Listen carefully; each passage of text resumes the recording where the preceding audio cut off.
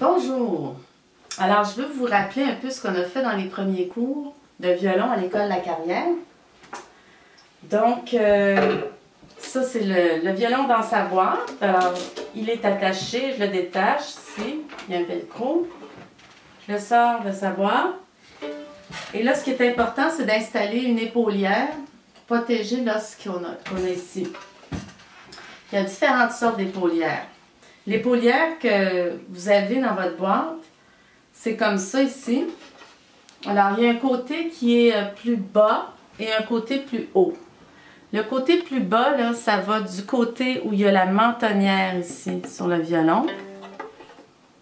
Donc, je, je mets le violon à l'envers et puis je vais glisser doucement de chaque côté l'épaulière. Ça, c'est une épaulière qui est trop petite pour mon violon.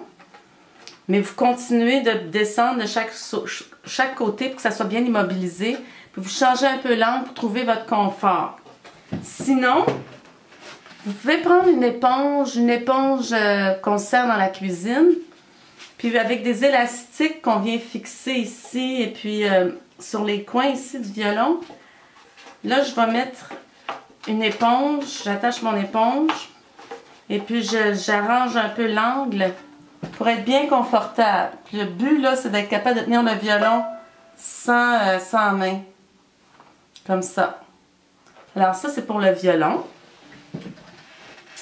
Ensuite, il y a l'archet. J'ai un archet ici avec le crin. Alors, je commence à le visser. Il y a une petite vis ici. Parce que mon archet, le crin, il touche peut-être pas la baguette mais il est très près de la baguette.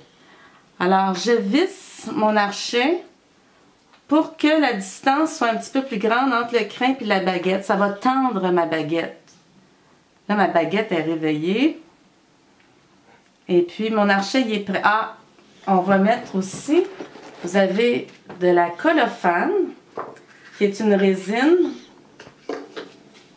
Puis, je vais en appliquer comme ça, là, sur le crin à partir du talon, partout jusqu'à la pointe. Comme ça, ça va aider à avoir du son quand je vais poser mon archet sur le violon.